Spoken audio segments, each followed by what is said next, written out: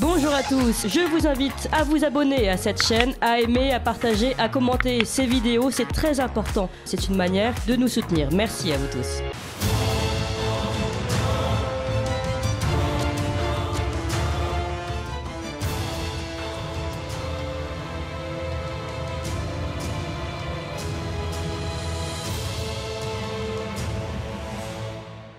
Dimanche dernier, le directeur de la rédaction de Valeurs Actuelles, Geoffroy Lejeune, a été mis à pied par le propriétaire du journal, l'armateur franco-libanais Iskandar Safa, Pourtant, Geoffroy Lejeune avait réussi à redonner un coup, un nouveau souffle au magazine. L'actionnaire euh, Safa l'accuse notamment d'être proche d'Éric Zemmour et de ses idées. Alors, l'actionnaire Safa a-t-il des problèmes à régler avec le gouvernement? Y a-t-il un changement de stratégie du journal? On va en parler. Mais aussi, dans un autre temps, le site euh, de Causeur, du journal Causeur, s'est vu refuser de mettre des publicités sur leur site à cause des Sleeping Giants. Alors, on va voir ce que c'est les Sleeping Giants.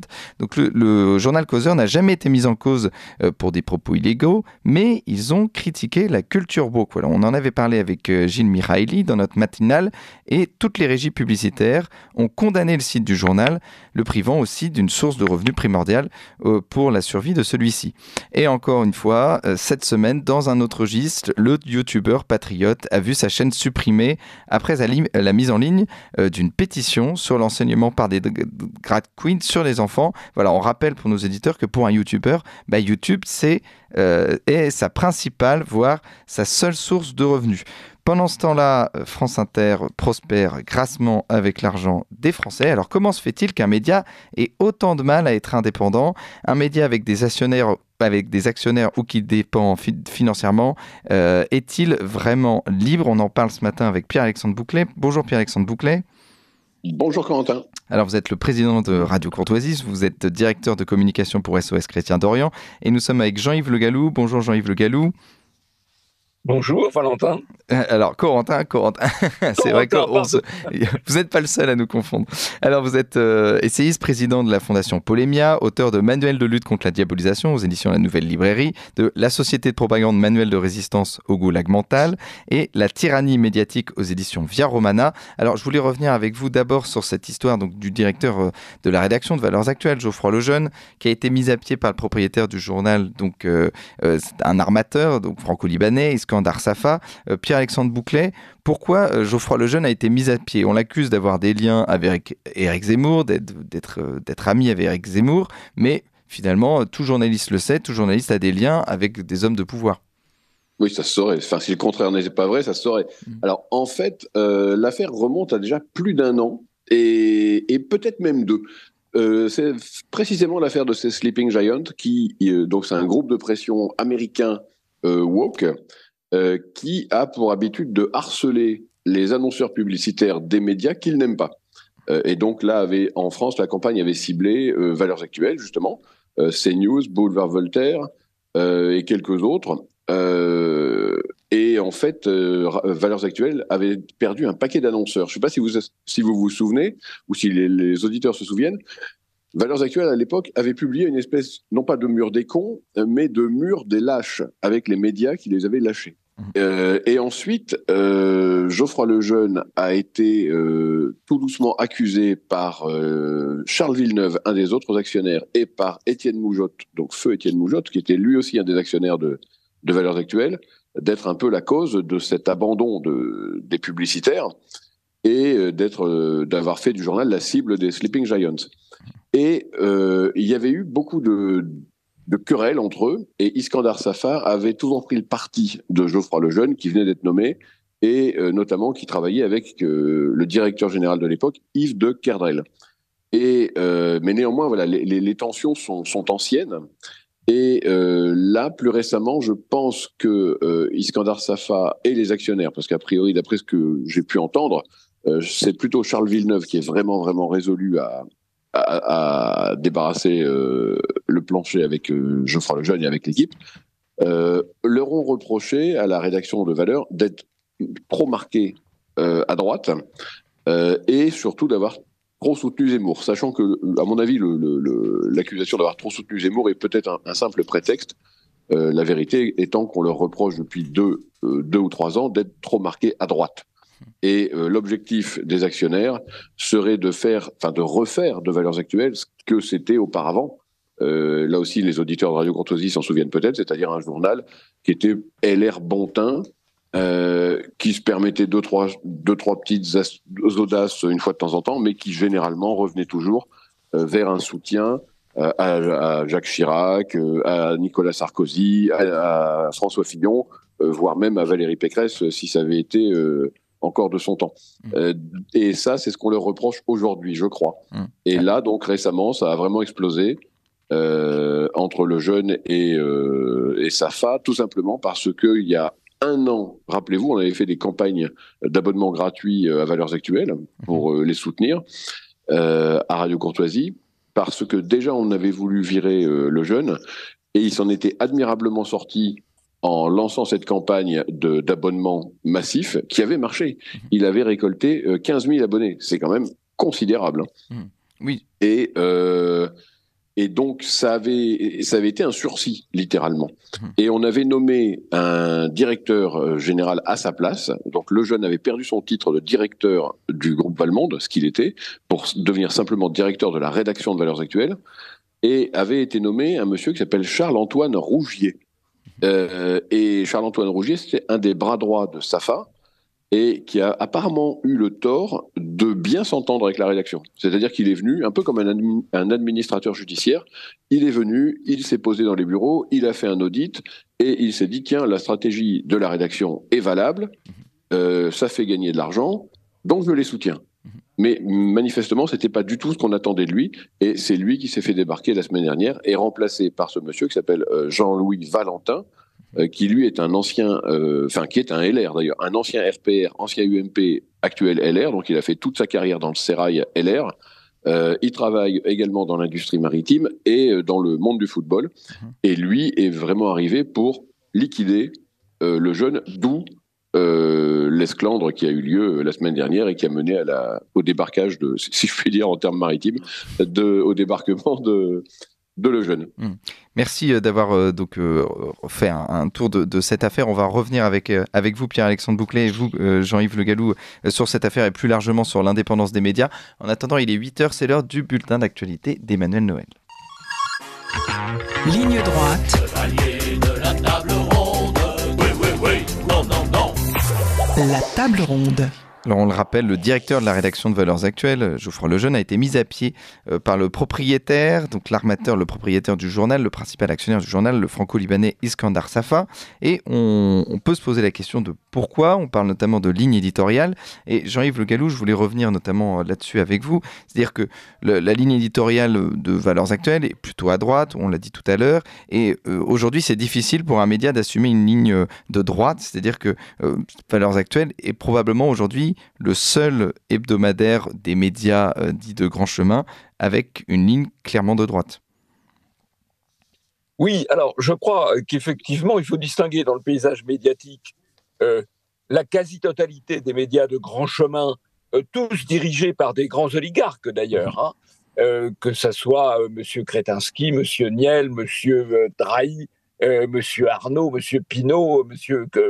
Monsieur Lagardère, tous ces médias sont dirigés par des grands oligarques euh, qui s'en servent un peu comme de moyens d'influence. Ça, c'est le premier volet.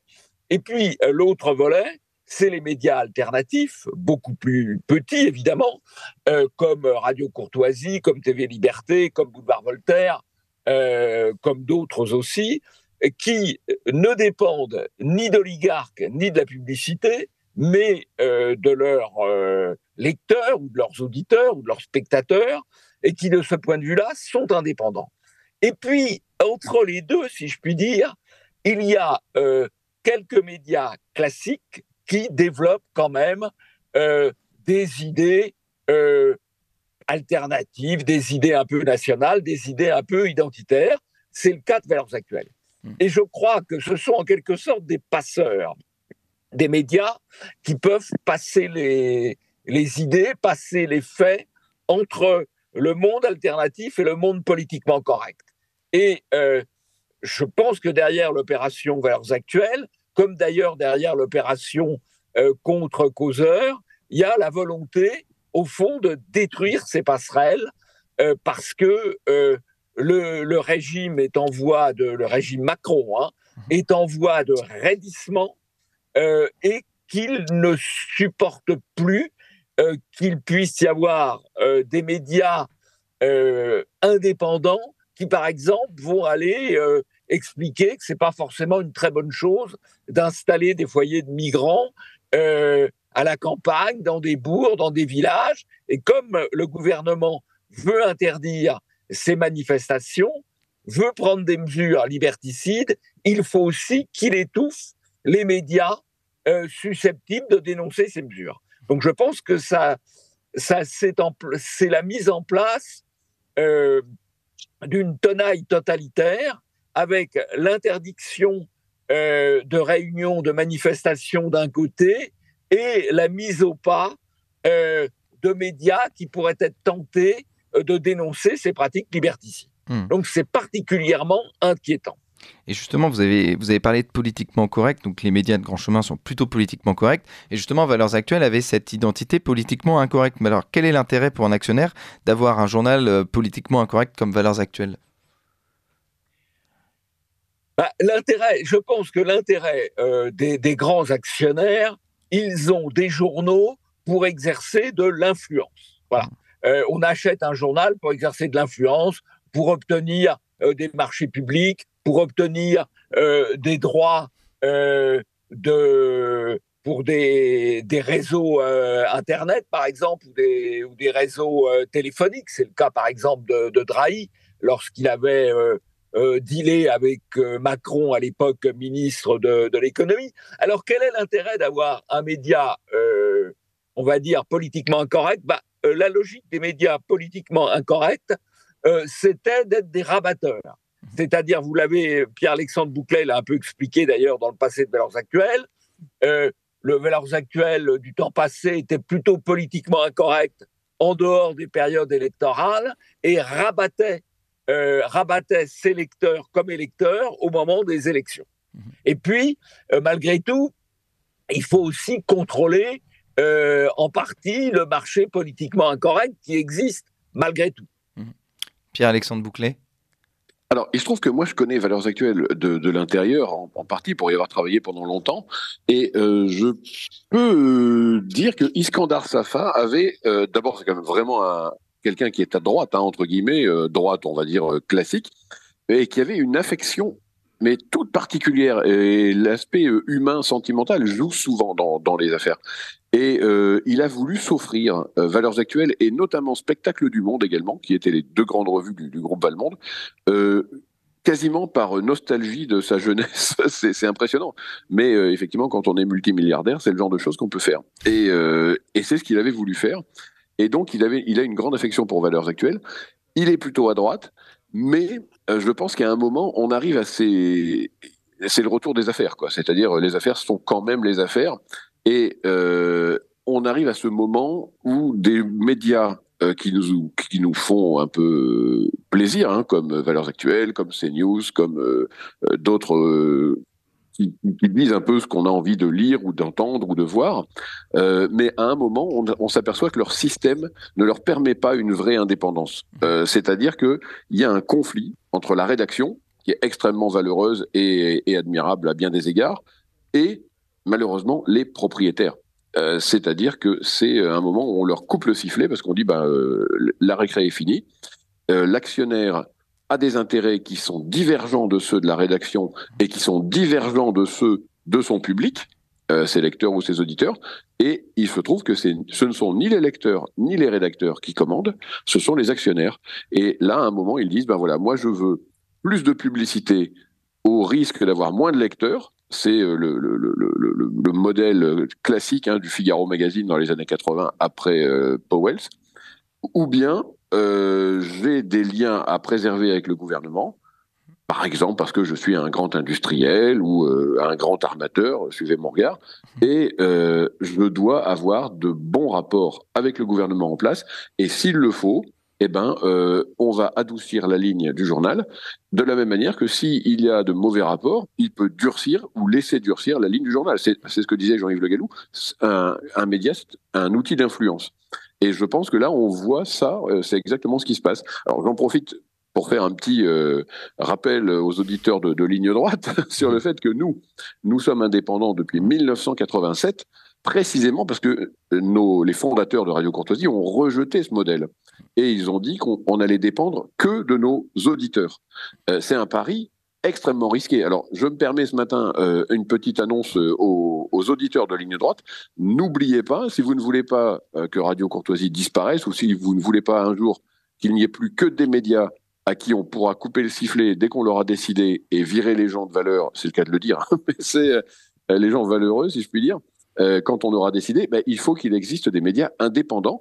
Et en fait, ça ne dépend que de vous. Donc, si vous n'avez jamais donné à Radio Courtoisie, sincèrement, euh, ce qui se passe aujourd'hui à Valeurs Actuelles, ce qui se passe ailleurs, c'est le moment ça doit être un signal dans vos têtes pour vous dire, voilà, c'est quand même important que je donne 5, 10, 15, 20, 100, 100 ou 200 euros à Radio Courtoisie. Hmm. Pardon, c'était un moment publicitaire. Euh, oui, oui, bien sûr, mais, on y reviendra justement comment créer un média indépendant, comment être complètement indépendant. Mais je voulais revenir avec vous, euh, d'abord Jean-Yves Le Gallou, notamment sur euh, Valeurs Actuelles, qui déjà ne peut pas survivre sans ses actionnaires et aussi sans ses, et sans ses lecteurs, évidemment. on, rappelle aussi que Valeurs Actuelles, le gouvernement a exclu Valeurs Actuelles des aides à la presse parce qu'ils étaient condamnés à incitation à la haine raciale, pas à la violence, mais incitation à la haine raciale. Alors comment c'est une nouvelle censure aussi, c'est-à-dire c'est-à-dire que euh, aujourd'hui, le gouvernement euh, donne de l'argent aux médias qui, euh, finalement, ne, donc, ne, sont pas condamnés pour incitation à la haine. Et on, sait qu'en France, c'est facile, quand on, est, quand on essaye d'être politiquement incorrect, d'être condamné pour incitation à la haine raciale. Voilà, Alors, c'est intéressant de, de, rappeler cela, parce que la dite condamnation à la haine est consécutive à la fiction que Valeurs Actuelles avait publié durant l'été quelques années auparavant, euh, en imaginant euh, les ancêtres de Madame Obono, Madame Obono euh, trafiquant d'esclaves, c'était humoristique. Ça correspondait d'ailleurs à une certaine réalité historique, à savoir que l'esclavage, la traite occidentale des Noirs, comme la traite musulmane d'ailleurs, n'a été possible que parce que des tribus africaines vendait des Africains à d'autres Africains qui les vendaient ensuite euh, aux, vendeurs d'esclaves. Mmh. Et donc, cette fiction euh, euh, historico-humoristique avait valu des poursuites à valeurs actuelles. Et moi, j'avais beaucoup regretté à l'époque que Valeurs Actuelles, en l'occurrence Geoffroy Lejeune, s'excuse dans cette affaire et regrette que je crois qu'on s'affaiblit toujours quand on s'excuse et quand on regrette, en plus qu'il s'agissait euh, d'un numéro humoristique, mais il l'avait fait à l'époque sur la demande de l'actionnaire. Moyennant quoi, ce sont ces excuses et ces regrets qui ont été retenus euh, par euh, le tribunal judiciaire pour condamner Valeurs Actuelles. Et après cette condamnation, eh bien, on s'est servi de cette condamnation pour supprimer les aides à la presse entre nous, si on supprimait les aides à la presse à chaque fois que la presse est condamnée euh, par les tribunaux, il n'y aurait plus beaucoup d'aides à la presse, parce que si tous les journaux ne sont pas condamnés, entre guillemets, pour racisme ou aide à la, ou appel à la haine, ou incitation à la haine, beaucoup sont condamnés un jour ou l'autre pour diffamation. Ça n'empêche pas qu'on continue euh, de les subventionner euh, d'abondance. Hmm. Oui, et puis euh, certains sont champions dans les bobards, vous le savez mieux que personne. Pierre-Alexandre Bouclé, vous voulez réagir là-dessus? Ah bah oui, mais les, les bobards, euh, il y, a même les, y a même les bobards en abîme. Hein, euh, quand on, on, en rajoute, on en rajoute dans le bobard. Oui, c'est ça. Pierre-Alexandre Bouclé oh bah, Je pense que Jean-Yves a, tout dit. Quelle était la question exactement d'ailleurs Vous souhaitez qu'on réagisse sur quoi? Oui, justement, en, fait, on, parlait de notre parlant, donc de valeurs actuelles qui a été, donc qui, dépend complètement de ses actionnaires et qui n'a pas d'aide à la presse du gouvernement, notamment parce qu'il a été euh, condamné ah pour incitation à la haine. Ah oui, oui, oui, bah effectivement, bah ça c'est qui veut abattre son chien l'accuse d'avoir la rage. Ça mm. c'est un, grand classique. Et s'il n'avait pas été accusé pour ça, on aurait trouvé un autre prétexte pour les leur couper. C'est euh, le, petit jeu du chat et la souris quand on veut vraiment euh, nuire à ses opposants. c'est vieux comme la démocratie. Hein. Hum. Donc, il y a des médias qui dépendent d'actionnaires, donc les actionnaires ont un pouvoir sur eux. ces médias aussi peuvent avoir des subventions d'État s'ils n'ont n'ont pas d'incitation à la haine ou à la violence. Et d'un autre côté, il y a un autre modèle économique, c'est le modèle de France Inter, qui normalement a pour actionnaires euh, les Français, parce que évidemment ce sont les Français avec les impôts euh, qui sont normalement actionnaires de France Inter, mais finalement France Inter, Jean-Yves Le Gallou, euh, l'actionnaire c'est plus les Français ou c'est plus le gouvernement? Oh, C'est pas complètement le gouvernement, mmh c'est la gauche en fait. Hein. fondamentalement, France Inter, c'est un média euh, de gauche qui a d'ailleurs été relativement critique euh, du gouvernement euh, dans l'affaire des, retraites, mhm. qui est parfois critique du gouvernement en matière économique et sociale, mais qui, en revanche, en rajoute dans le domaine sociétal, dans le domaine de la culpabilisation, dans le domaine du wokisme. Donc, il est en quelque sorte en phase avec le régime Macron euh, sur tout ce qui concerne euh, l'immigration, euh, les réformes sociétales, mais il peut parfois être critique en matière économique et, sociale. Mhm. je serais tenté de dire c'est vraiment c'est vraiment la gauche culturelle France Inter, hein, qui mhm. comme pour France Info d'ailleurs. Mhm. ce sont des médias de gauche, donc pas uniquement gouvernementaux. C'est on va dire Mélenchon-Macron quoi.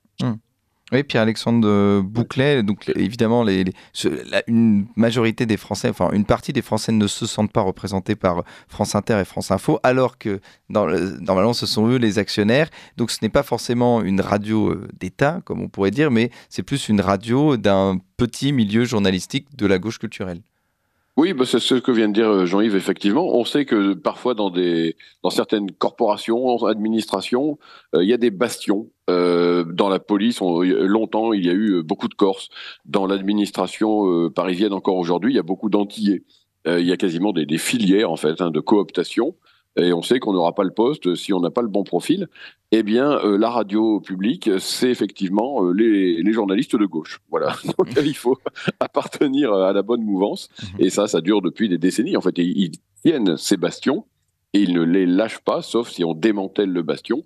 Euh, mais là, il y a moins de volonté de l'État de, de, démanteler les bastions euh, de gauche à France Inter que, par exemple, de démanteler la rédaction de droite à Valeurs Actuelles euh, par, par son actionnaire privé. Voilà. Donc, effectivement, ce qui est important, J'en reviens toujours à mon mantra, hein, mais c'est aussi pour ça que je suis moi passionné par l'existence et le développement de, de notre radio. ce qu'il faut, c'est l'indépendance et prendre ce pari euh, d'inviter les, auditeurs ou les lecteurs, et eh bien tout simplement à s'abonner, à contribuer, à être ce que j'appelle des auditeurs militants. Mhm. Et euh, il faut vraiment comprendre que la culture du gratuit n'existe pas. C'est ce vieux proverbe hein, si c'est gratuit, c'est que c'est vous le produit.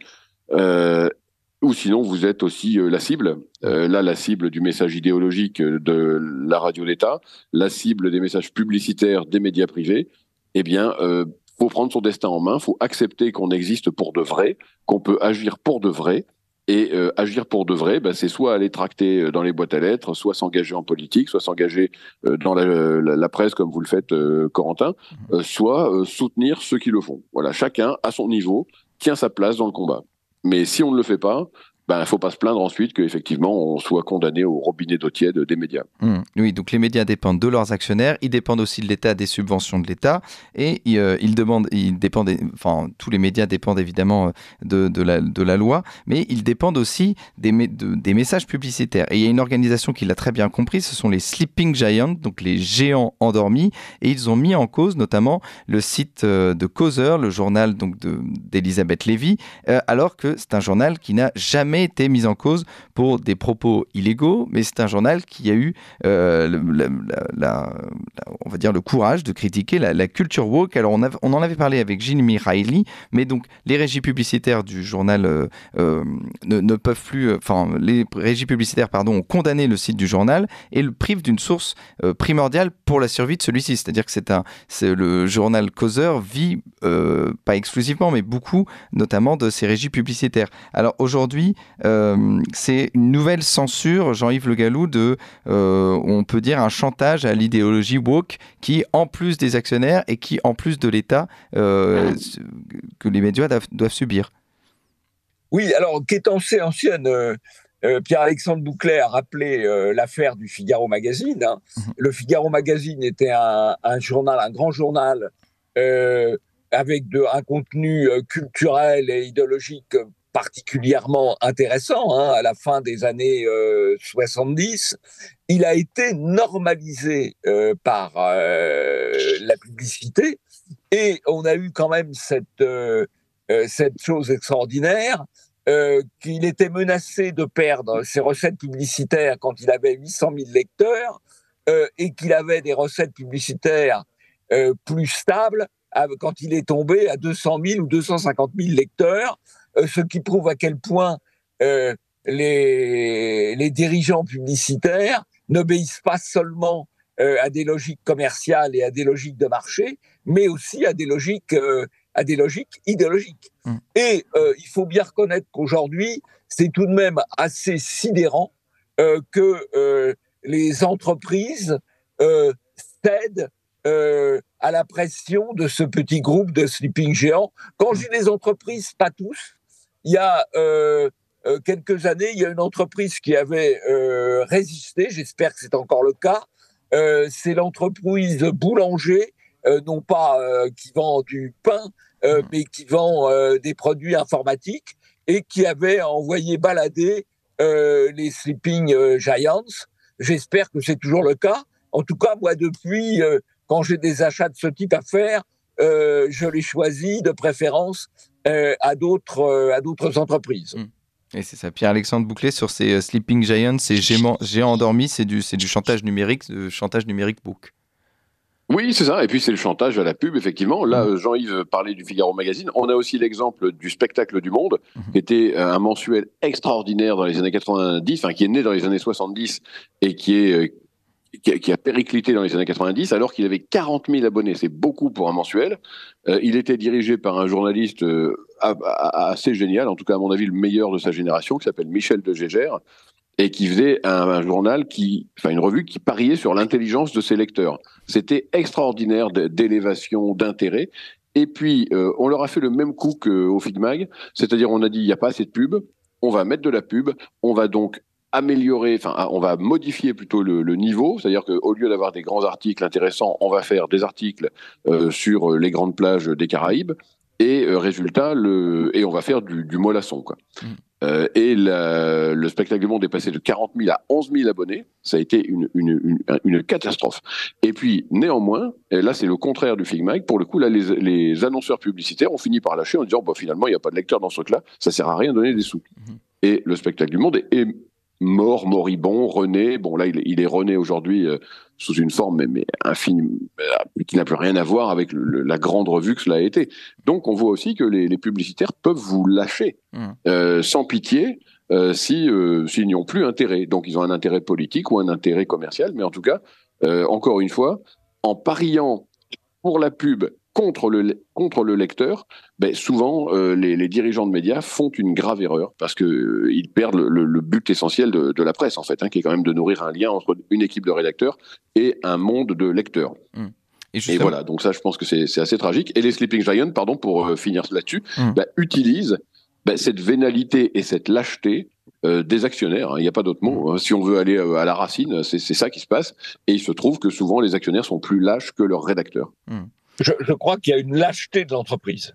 Hein. Ah C'est-à-dire que dans l'entreprise, euh, on est dans le pas de vaguisme. Au fond, ce qu'on reproche à l'éducation nationale, le pas de vaguisme, avec les catastrophes que cela peut produire, hein, à la fois sur le niveau de l'enseignement ou même sur des drames euh, euh, pour certains enfants victimes de harcèlement, le pas de vaguisme de l'éducation nationale, on le retrouve finalement dans les entreprises parce qu'il y a une chose qui s'est produite euh, dans les entreprises au cours des 10, 20 ou 30 dernières années, euh, c'est la prise de pouvoir euh, par les directions de la communication, euh, qui sont soucieuses de l'image. Et évidemment, dès qu'il peut y avoir la moindre aspérité ou le moindre problème, la tendance, c'est dire on arrête, on supprime, et on s'aplatit finalement. Mm. Et il y a un grand, il y a un grand aplatissement euh, des, entreprises, des responsables d'entreprises devant le politiquement correct. Il faut bien voir qu'aujourd'hui, euh, dans la mise en place du politiquement correct, à la fois par la censure et par la propagande, les entreprises, en particulier les grandes entreprises, ont une responsabilité énorme.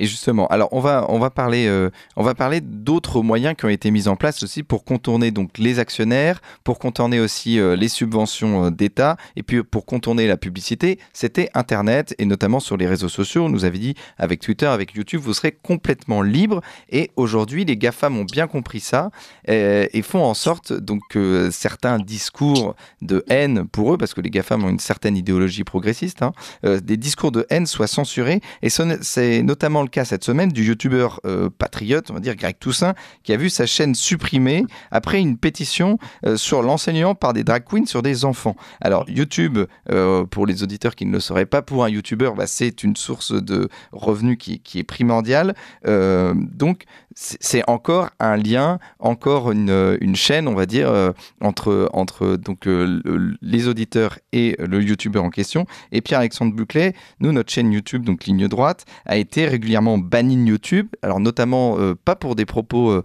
sur l'immigration ou pas pour des propos sur la haine, mais plus pour des propos sur la politique sanitaire, sur la crise sanitaire. Donc on a été banni et on a été invisibilisé. Donc ça veut dire qu'aujourd'hui, même YouTube et Internet, qui était un- un- une promesse de liberté, ne l'est plus.